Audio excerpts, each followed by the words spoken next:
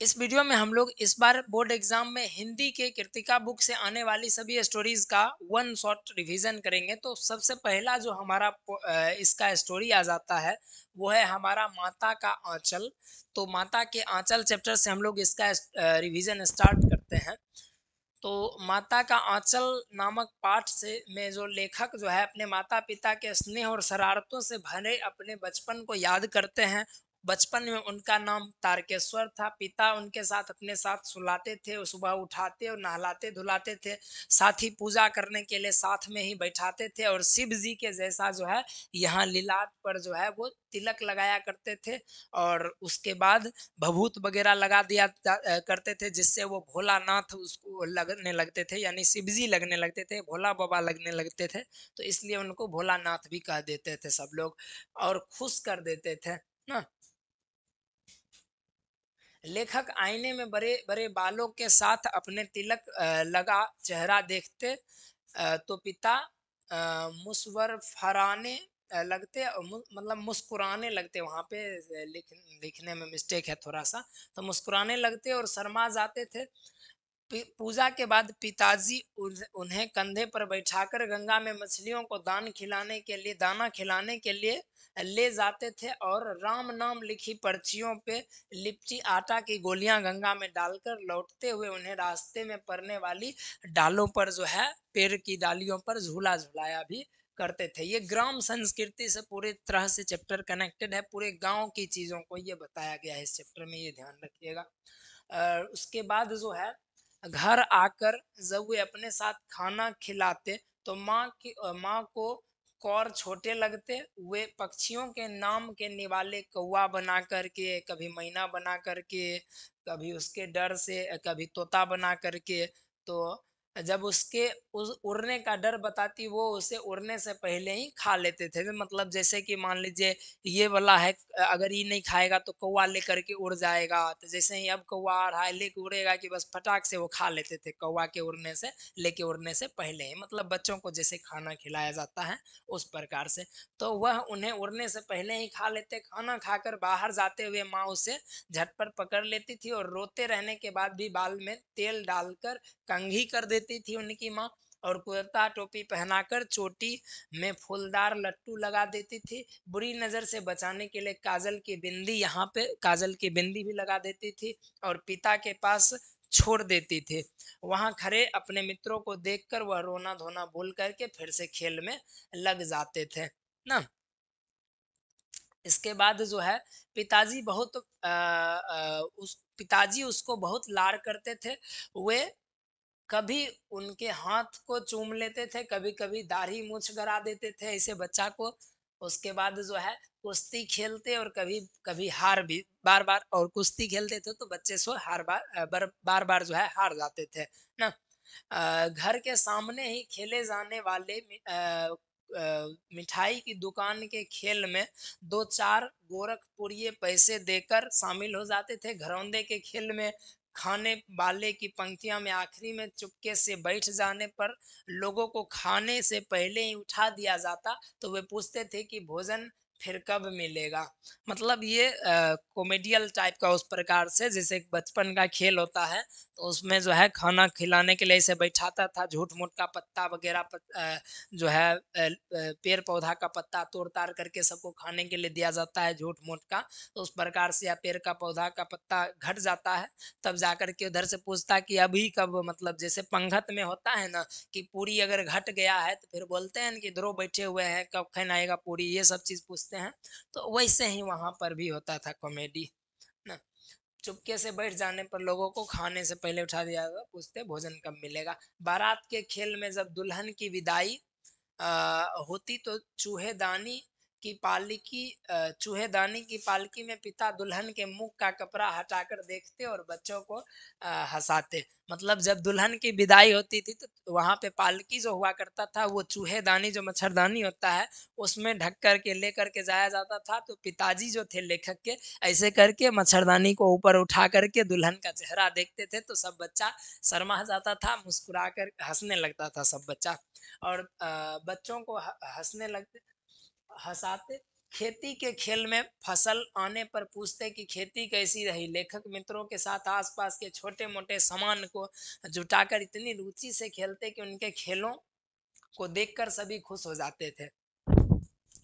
और उसके बाद जो है तिवारी के नाम, तिवारी के नाम के जान पहचान वाले एक बूढ़े को मूसन तिवारी जो है उनका मसाज मज़ाक उड़ाना और आंधी आने पर लोकगीत गाना मतलब इनका मज़ाक उड़ा दिए और आंधी जब चल रहा था उस समय टिकला ये लोग तोड़ने के लिए, आम तोड़ने के लिए गए हुए थे तो इधर इधर इसको चिढ़ा देते हैं, क्या जो बुढ़वा बैगम बुढ़वा बेईमान मांगे करेला का चोखा? तो ये कह करके चिढ़ा देते हैं तो अब वो चिढ़ जाते हैं और ये लोगों को पूरा एकदम दबाड़ देते हैं, दौड़ाते दौड़ाते हैं ना? मित्रों की आदत बन गई थी एक बार मूसन तिवारी का मज़ाक उड़ाने पर अध्यापक ने लेखक को खूब पिटाई की। वो जब भाग गए थे स्कूल से, दबा रहा था तो भाग गए स्कूले में तो स्कूले में जाकर कंप्लेन कर दिया। उसके बाद लेखक बढ़िया से कुटाए थे। पिता ने बचपन पिता पिताजी को जब ये बात पता चलता है तो पिताजी उनको लेकर के घर चलाते हैं, वहाँ पे आते हैं टीचर से रिक्वेस्ट करते हैं और तब जा कर के जो है उसको घर लेकर के आ जाते हैं और घर लेकर के जब आते हैं तो फिर लेखक जो है अपने मित्रों के साथ मिलते हैं तो यह रोना धोना भूल करके फिर उसके साथ खेलने चल जाते हैं। तो एक बार की बात ऐसा होता है कि जब ये खेलने के लिए, खेलने के दौरान ही खेत में खेल रहे होते हैं तो खेत में चूहा वगैरह जो लगा होता है तो वो मिट्टी का ढेर लगा देता है। अब वहाँ पे बिल वगैरह किए हुए रहता है तो लोगों को लगा चूहा ही होगा तो मिट्टी का ढेर में जो है वहाँ पे क्या करने लगते हैं? पानी डालने लगते हैं। अब पानी डालने लगे वहाँ पर तो पानी डालने के क्रम में हुआ क्या कि आसपास में पानी डाले ना तो चूहा तो नहीं निकला, लेकिन वो सांप निकल गया बाहर में। अब सांप निकल गया बाहर में तो अब इसको लग गया डर बहुत ज़्यादा। डर इतना ज़्यादा लगा इनका दोस्त वगैरह, ये सब लोग एकदम दौड़ते पड़ते भागते, एकदम लहू लुहान हो गए, काटा कहीं पे गरा कहीं शीशा, कुछ भी करते उड़ते एकदम वैसे ही चोट फोट लगाते आए और बाहर में उनके पिताजी बैठे हुए थे, वो अपने पिताजी के पास नहीं गए। पिताजी के पास ना जा कर के वो सीधे अपनी मम्मी के पास जाते हैं, माता के पास जाते हैं और माता की गोद में जा कर के सो जाते हैं। इतना ज़्यादा डर चुके होते हैं कि उनको माता के पास ज़्यादा सुरक्षा महसूस हुई, जबकि पिताजी से साथ ज़्यादा समय बिताते थे, फिर भी माता के साथ ज़्यादा सुरक्षा महसूस हुई और माता जो है, मम्मी जो है, उनको आंचल में ढक लेती हैं और गोद में सुला लेती हैं और कुछ देर के बाद जब नींद खुलता है उनका तो भी वो आंचल मतलब गोद में ही रहते हैं तो थोड़ा सा उनको जो है रिलैक्स फील होता है, आराम महसूस होता है लेखक को। तो उसी में से यही सारा चीज़ दिया गया है कि लेखक को भले ही मतलब पिताजी से बहुत ज़्यादा लगाव था, समय ज़्यादा व्यतीत करते थे, लेकिन जब उस प्रकार की घबराहट हुई तो बाद में ये भी देखने को मिला कि उस बच्चे को, उस लेखक को जो है माता से कितना लगाव था। मम्मी से कितना लगाव था कि सुरक्षा के लिए वो मम्मी के पास ही गए। इतना घबराहट वाली स्थिति में पिता के पास ना जाकर के माता के पास ही गए। तो एक माता और बेटे के बीच एक अनंत जो प्रेम का कनेक्शन होता है, ये चीज़ को दर्शाता है और इसी कारण से जो है इस चैप्टर का नाम माता का आंचल दिया गया। तो इस प्रकार से आपका ये चैप्टर हो जाता है समाप्त। अब हम लोग चलते हैं नेक्स्ट चैप्टर पे, इसका नेक्स्ट स्टोरी पे, अगले स्टोरी पे। अगला स्टोरी है हमारा साना साना हाथ जोरी साना साना का मतलब है छोटा छोटा, और हाथ जोरी मतलब छोटे छोटे ज़ोर, हाथ को जोड़ करके ये प्रार्थना करते हैं। ये सिक्किम के लोगों की प्रार्थना है, आगे देखेंगे कि क्या प्रार्थना है छोटे छोटे हाथों को जोड़ करके तो इसमें जो है लेखिका जो है, वो सिक्किम की राजधानी गंगटोक घूमने के लिए गई है। और रात में ढलान पर सितारों की जगमगाती झालर ने उन्हें इतना सम्मोहित किया है कि वह उसी दिन सुबह एक नेपाली युवती से सीखी प्रार्थना, यानी साना साना हाथ जोड़ी जो बोल रही थी, मेरे सारे जीवन अच्छाइयों के लिए समर्पित हो। दोनों हाथ को जोड़ करके वो बोलती थी कि मेरे सारी जीवन अच्छाइयों के लिए समर्पित हो करने लगी। अगले दिन मौसम साफ़ ना होने के कारण लेखिका कंचनजंगा की चोटी पर नहीं चोटी किधर गया? चोटी तो नहीं देख सकी, परंतु ढेरों खिले फूल देखकर खुश हो गई। पर उसी दिन गंगतोक से एक सौ उनचास किलोमीटर दूर दूर युमथांग युमथांग देखने अपनी सह सहयात्री मनी और गाइड जीतेन नारगे। जीतेन नारगे जो थे, वो गाइड थे, जो टूरिस्ट गाइड जो घुमा रहे थे और उनके साथ जो एक मित्र आई थी, वो थी मनी नाम करके। उनके साथ रवाना हुई। वहाँ के लोग बौद्ध धर्म को बहुत ज़्यादा मानते थे। वहाँ के लोग बौद्ध धर्म को ज़्यादा मानते हैं, ना? उसके बाद जो है, किधर गया? बौद्ध अनुयायी मानते हैं। रास्ते में उन्हें बौद्ध अनुयायियों की अनुयायी का मतलब होता है शिष्य। उनके बौद्ध शिष्यों की लगाई सफ़ेद और रंगीन झाड़ियाँ झार, झंडियाँ दिखाई दिखाई दी। कि भी कभी लोग स्टॉक नामक स्थान पर हिंदी फ़िल्म गाइड की शूटिंग का स्थान देखा।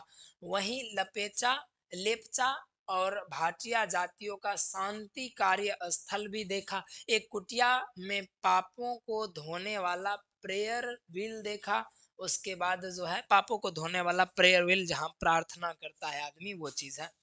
ऊंचाई पर चढ़ते हुए धीरे धीरे ऊंचाई होगा ऊंचाई लिखा गया। ऊंचाई पर चढ़ते हुए धीरे धीरे लेखिका को स्थानीय लोगों का दिखना बंद हो गया। नीचे घर ताश के पत्तों जैसे छोटे छोटे दिख रहे थे। मतलब हाइट पर जितना जाइएगा ना पहाड़ी वाले इलाके में, नीचे का चीज़ उतना ही ज़्यादा छोटा दिखने लगेगा आपको। रास्ते सकरे और घुमावदार होने लगे। मतलब ऊपर में जाने का जो रास्ता होता है ना, ये मेनली ऐसे ऐसे सर्कुलर घुमा घुमा करके दिया जाता है। ये देखिएगा। गहराइयाँ खाइयाँ बादलों से भरी, गहराई, गहरी खाइयाँ बादलों से भरी थी। हरियालियों के बीच कहीं कहीं खिले फूल भी थे। हिमालय की सुंदरता ने यात्रियों को प्रभावित किया और वे प्रार्थना के लोकगीत गाने लगे थे। मतलब वहाँ की सुंदरता के बारे में यहाँ पे वर्णन किया जा रहा है कि कितना सुंदर वो माहौल था।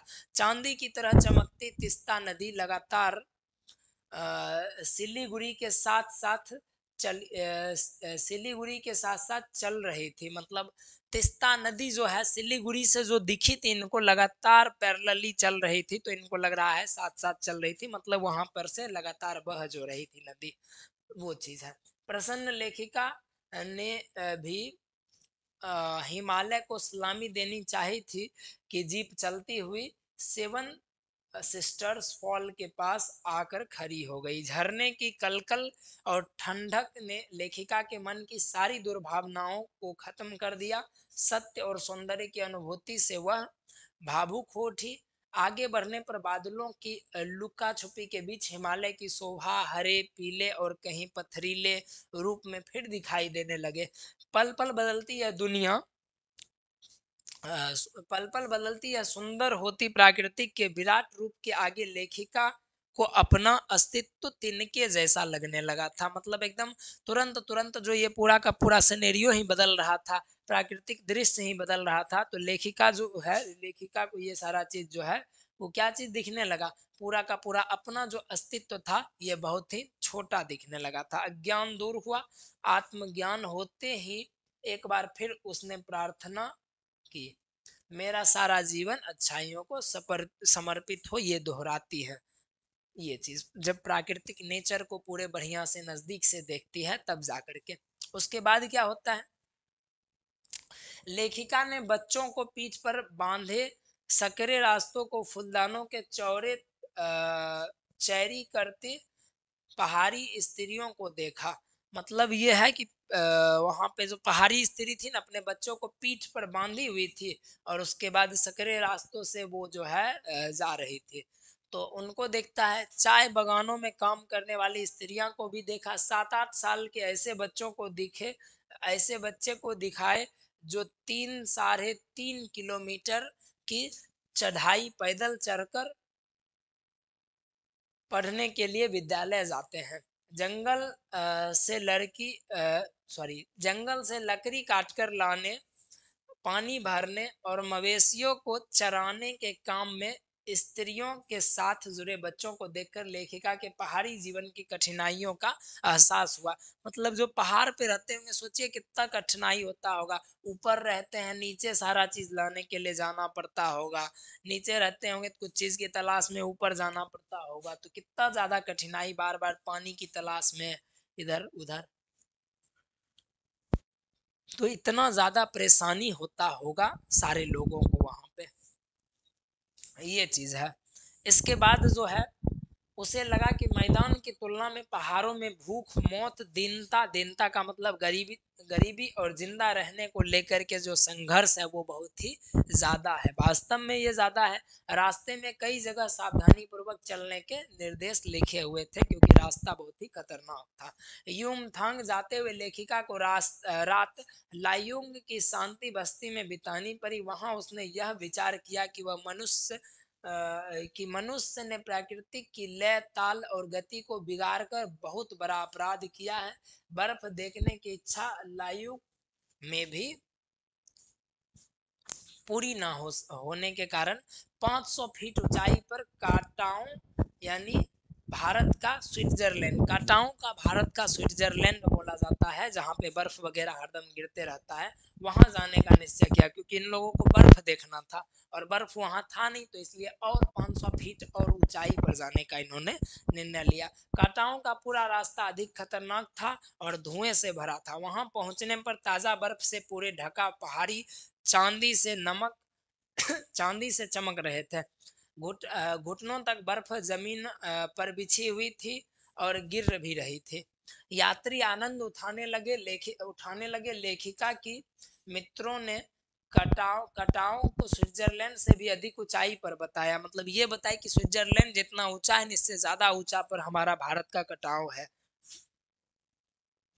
लेखिका ने भी उसे सुंदर दृश्य को हृदय में सम, समा लिया।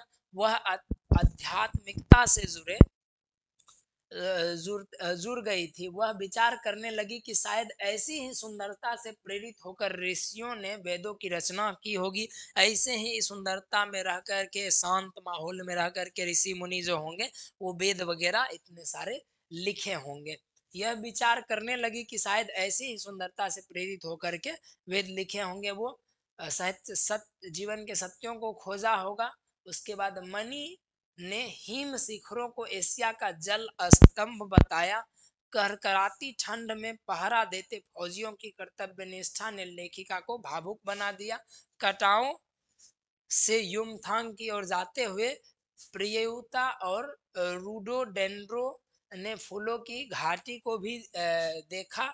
युमथांग कटाओ जैसी सुंदर नहीं था। वहाँ एक सिक्किमी स्त्री ने अपना परिचय जब इंडियन कहकर दिया तो लेखिका बहुत खुश हो गई। रीजन क्या था? इसके पीछे सिक्किम जो है ना, पहले भारत का हिस्सा नहीं हुआ करता था। ये ध्यान रखिएगा, सिक्किम भारत का हिस्सा पहले नहीं हुआ करता था। सिक्किम के जो राजा थे, जब उसको चीन के द्वारा प्रताड़ित किया जाने लगा था तो वो क्या बोले? पंडित जवाहरलाल नेहरू से कि हमको जो है भारत की मदद की ज़रूरत है। तो पंडित जवाहरलाल नेहरू शर्त ये रखे कि आप भारत की मदद की, हम भारत मदद देने के लिए तैयार है, लेकिन आपको हमारे भारत में शामिल होना पड़ेगा। तो सिक्किम के जो राजा थे ये बोले कि हमको डायरेक्टली शामिल नहीं होना है, हमको पहले भारत को जानने का परमिशन दीजिए। हम देखेंगे भारत कैसा है, भारत के लोग कैसे हैं, वहाँ विचार कैसा है, फिर सोचेंगे कि शामिल होंगे कि नहीं। तो ये परमिशन दे दिए, फिर देखे राजा वगैरह सब कि भारत तो बहुत अच्छा देश है यहाँ। मतलब हमारे देश में मेहमानों को जो है सो बहुत सम्मान दिया जाता है। नहीं कहते हैं, मेरे देश में मेहमानों को भगवान कहा जाता है। तो इतना ज़्यादा रिस्पेक्ट देख करके सिक्किम के राजा बहुत खुश हुए और अंतिम में समझौता किया और सिक्किम को भारत का अंग माना जाने लगा। तो सिक्किम के लोग भी जब इंडियन खुद को कहते हैं ना तो ये बड़ा गर्व होता है कि सिक्किम के लोग भी अब दिल से खुद को भारतीय मानते हैं। इस वजह से लेखिका बहुत ज़्यादा खुश हुई। तो लेखिका खुश हुई। रास्ते में गाइड नारगे ने चांदनी रात में भौंकने वाले कुत्ते दिखाए, ना? गुरु नानक के पद चिन्हों वाला एक ऐसा पत्थर दिखाया, जहाँ कभी उनकी थाली से चावल छीट कर बाहर गिर छिटक कर बाहर गिर गए थे। खेदुम नाम नाम का एक किलोमीटर का एक ऐसा क्षेत्र भी दिखाया जहाँ देवी देवताओं का निवास माना जाता है। वहाँ पे नारगे ने पहाड़ियों के पहाड़ों, नदियों, झरने और नदियों के प्रति पूज्य भाव की भी जानकारी दी। कप्तान शेखर दत्ता के सुझाव पर गंगतोक के पर्यटन स्थल बनने और नए रास्तों के साथ नए स्थानों की खोज की प्रयास के लिए भी जानकारी दिए। तो इस प्रकार से ये चला था और लेखिका भी जो थी, लेखिका भी चाह रही थी कि इन चीज़ों के, इन सारे दृश्यों को अपने मोबाइल फ़ोन के कैमरे में कैद कर ले। लेकिन फिर वो सोची कि कैमरे में कैद करने से ज़्यादा बेहतर है कि कैमरे, अभी कैमरा निकालेंगे, मोबाइल निकालेंगे कैमरा में कैद करते रह जाएँगे और प्राकृतिक का जो असली सौंदर्य है, वो मोबाइल के कैमरा में फ़ोटो लेने के चक्कर में महसूस ही नहीं कर पाएँगे। इसलिए लेखिका ये डिसाइड करती है, ये निर्णय लेती है कि वो कैमरा में कैद नहीं करेंगे, वो अपने रियल लाइफ में ना वास्तविक में अनुभव करेगी, उस प्राकृतिक दृश्यों को वास्तव में फील करेंगी उसको, वो ना कि कैमरा में उतारेगी। इस प्रकार से वो अपनी पूरी जो है पर्यटन यात्रा यात्रा पूरी करी थी। ठीक? तो ये स्टोरी भी आपका हो गया खत्म। अब इसका सबसे अंतिम स्टोरी हम लोग देखते हैं। छोटा सा है वो। मैं क्यों लिखता हूँ? मैं क्यों लिखता हूँ? मैं लेखक जो है ना, ये अपनी लिखने की व्यवस्था को बताते हैं कि क्या ऐसी समस्याएँ हैं जिसकी वजह से इनको लिखना पड़ता है, क्या प्रॉब्लम्स ऐसे हैं। तो यहाँ शुरुआत होता है। लेखक लिखने के लिए विवश है मतलब मजबूर है। अपनी लिखने की व्यवस्था पर विचार करके जानना चाहते हैं कि वह क्यों लिखते हैं। वह लेखन का संबंध आंतरिक जीवन को मानते हुए विभिन्न स्तरों पर विचार करते हैं और उससे जुड़े लोगों को, विशेषताओं को समझ, समझाते हैं, समझ, समझाता है। लेखक को लेखक के अनुसार लिखे बिना लिखने के कारण को नहीं जाना जा सकता। लिखकर ही लिखने की व्यवस्था से मुक्त हुआ जा सकता है और लेखन को समझा और पहचाना जा सकता है। लेखक के अनुसार सभी लेखकों को कृतिकार अथवा रचनाकार नहीं कहा जा सकता। एक रचनाकार आंतरिक दृत दृप्त चेतना से प्रभावित होकर ही रचना करता है। मतलब ये चीज़ है कि वो क्यों लिखते हैं, क्या लिखते हैं, जब तक लिखेंगे नहीं तब तक कुछ बता ही नहीं पाएँगे। सोच करके कोई भी चीज़ नहीं होता है। लिखना पड़ता है कोई भी चीज़ के लिए। लिखिएगा तब आपके जो इन्हेंसमेंट है, उसमें आपके राइटिंग में, आपके लेखनी में वो एक अलग लेवल एक अलग स्तर होगा आपका और फिर वो आपका अहदा बढ़ेगा। ये चीज़ बताते हैं। कभी कभी बाहरी दबावों से भी आंतरिक दृप्त आंतरिक दृप्त होने पर रचना लिखी जा सकती है। कुछ लोग ऐसे भी होते हैं जो रचना के लिए बाहरी दबावों की प्रतीक्षा करते हैं, अर्थात उन्हें लेखन में दबावों की निर्भरता रहती है। लेखक स्वयं के लिए बाहरी दबाव महत्वपूर्ण नहीं है। मतलब ये कहते हैं ना कि हम पर कोई प्रेशर बनाएगा कि आप लिखिए, तभी लिखेंगे। ऐसा महसूस कभी अपने आप को नहीं होना दे, होने देना चाहिए। मतलब हमको खुद ऐसा बनना चाहिए कि हम अगर लिखना चाह रहे हैं तो अपनी स्वतंत्रता से लिखेंगे। हम जो लिखना चाहते हैं वो लिखेंगे। किसी के दबाव में आकर के कोई भी चीज़ नहीं लिखेंगे। ऐसा कहना इनका है। दबाव के होने पर भी उसे वसा उसमें बसा कृतिकार उसके प्रभावित नहीं होता। वह अब से वह अपनी दृप्त चेतना से ही प्रेरित होकर लिखता है। लेखक के अनुसार कृति का आधार मनुष्य की भीतरी व्यवस्था है। वृत्तकार होकर भी लेखक हैं लेखक के लिए भीतरी व्यवस्था को समझना कठिन होता है। मतलब लिखने में क्या मजबूरियाँ रहती होंगी, इसको समझना बहुत ज़्यादा कठिन होता है कि कोई किस प्रभाव में कौन क्या लिख रहा है ये चीज़। अतः इसे वह अपनी कविता हीरो सीमा के माध्यम से समझाता है, समझाते हैं लेखक अपनी कविता को। यह कहना चाहते हैं कि विज्ञान का विद्यार्थी होने के कारण उसे रेडियो धर्मी प्रभावों के बारे में पता है, रेडियो एक्टिव प्रभावों के बारे में पता है कि रेडिएशन की वजह से क्या नुकसान होता है। हीरो सीमा पर अणुबम यानी कि एटम बम के विस्फोट ने उसे प्रभावित किया और उसे कुछ लेख के लिए लिखा। भारत की पूर्वी सीमा पर हुए युद्ध के समय सैनिकों को मछली की आवश्यकता पड़ी थी। मछलियों की आवश्यकता पड़ी थी, उन्हें समुद्र में बम फेंके, इससे हज़ारों मछलियाँ मर गई। उसके बाद जीवों ने इस नाश से लेखकों को गहरा दुख पहुँचाया। मतलब समाज में कोई भी चीज़ अगर गलत हो रहा है या कोई भी चीज़ देख आप रहे हैं तो उस चीज़ पर आपका खुल करके आवाज़ अगर नहीं उठा सकते बोल करके तो आप लिख करके आवाज़ उठा सकते हैं। ये एक तरीका हो सकता है लेखनी का, ना? जापान गए तो वर्षों बाद हिरोशिमा के लोगों को बम से पीड़ित देखकर, वह कराह उठे। भारत के समुद्री जीवों के नाश से जुड़ी उनकी संवेदना हिरोशिमा में पीड़ित को देखकर और गहरा हो गई। एक दिन उन, उसने सड़क पर चलते हुए एक पत्थर पर रेडियो धार्मिक से प्रभावित एक मानव आकृति की मात्रा छाई, मात्रा छाया देखी। पीड़ा घनीभूत हो उठी, अनुबम विस्फोटक की पीड़ा पुनः जी उठी। मतलब वो जो देखते हैं ना, वहाँ पे विस्फोटक की जब जापान गए थे तो वो अभी भी वो देखते हैं कि एटम बम का प्रभाव अभी तक जापान पर है। अभी भी बच्चे वहाँ पे जो है अपाहिज पैदा हो रहे हैं। मतलब उसका रेडिएशन का इफ़ेक्ट अभी तक है, अभी तक वहाँ पे शांति नहीं हुआ है, खत्म नहीं हुआ है। इसको देख करके लेखक काफ़ी ज़्यादा जो है दुखी हो जाते हैं। बम विस्फोट की अनुभूति प्रत्यक्ष हो गई। संवेदना ने उन्हें कल्पन, कल्पनाशील बनाया और आत्मा से अनुभवों को महसूस कराया। उसकी अनुभूति आंतरिक थी, वह विवश हो उठे। अनुभूति की ज्वलंतता भारत आने पर एक दिन अचानक रेल में यात्रा करते हुए हिरोशिमा नामक कविता के रूप में ढल गई। मतलब ये सब सोच ही रहे थे तो एक बार रेल से यात्रा कर रहे थे और जनरली जो साहित्यकार होते हैं, चाहे वो हिंदी के हो, चाहे वो इंग्लिश के हो, ये लोग हमेशा किसी ना किसी ख्याल में ही डूबे रहते हैं, कुछ ना कुछ सोचते हुए रहते हैं। उसी तरह से ट्रेन में यात्रा कर रहे थे, सोच रहे थे और सोचते सोचते वहाँ पर से एक कविता ही लिख दिए जिसका नाम हिरोशिमा है। और एक कृति के रूप में सामने आ गई। लेखक अपनी उस भीतरी व्यवस्था से मुक्त हो गया और तटस्थ होकर उसे देखने के लिए सम, उसे देखने और समझने के लिए आ, समझने की कोशिश करने लगे।